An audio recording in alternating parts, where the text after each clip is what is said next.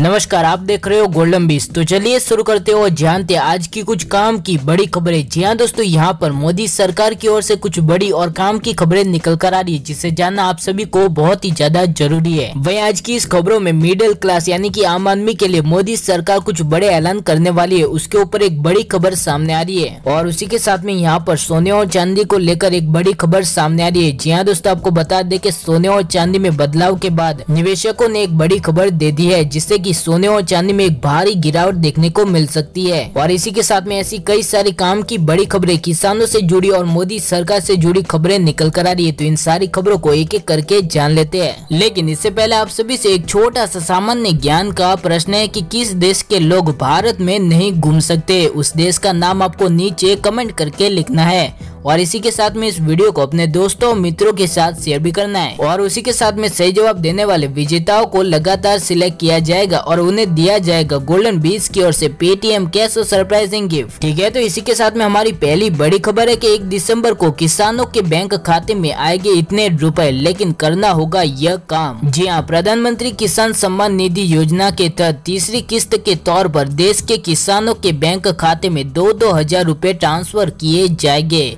और अभी तक दो किस्तों के रूप में चार चार हज़ार रूपए किसानों के खाते में जमा किए जा चुके हैं। लेकिन तीसरी किस्त पाने के लिए किसानों को पीएम किसान सम्मान निधि से अपना आधार नंबर लिंक करवाना होगा और यह काम 30 नवंबर से पहले करना होगा। वहीं आपको बता दें कि उत्तर प्रदेश में करीब एक करोड़ से ज़्यादा किसानों के डेटा में खामियों के कारण पीएम किसान सम्मान निधि योजना से बाहर कर दिया है, क्योंकि इनके खातों में आधार नंबर में और बैंक खाते के नाम में अंतर था। यानी कि आधार नंबर और बैंक खाते के नाम अलग थे।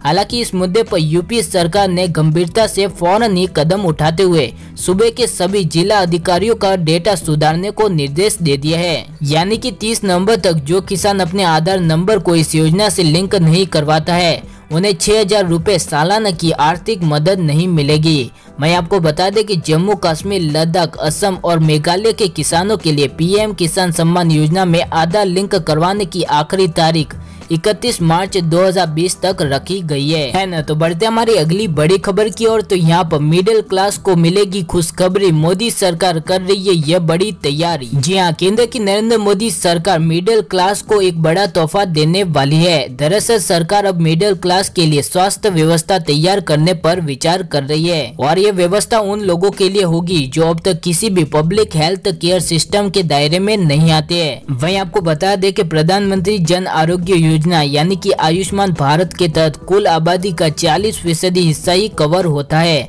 और ये योजना गरीबों के लिए है और इस योजना में पाँच लाख रुपए तक का बीमा मिलता है। लेकिन मिडिल क्लास यानी कि आम आदमी के लिए सरकार की कोई भी ऐसी योजना नहीं है। और ऐसे में यह पहली बार होगा कि जब middle class public health care cover का फ़ायदा उठा सकेंगे। चले तो इसी के साथ में एक और बड़ी खबर है कि सोने के दामों में इंपोर्ट पर बड़ा यह असर सरकार को मिली राहत। जी हाँ सोने की कीमत में तेज़ी के चलते अप्रैल अक्टूबर तिमाही के दौरान सोने की आयत में नौ फ़ीसदी तक की कमी देखने को मिली है।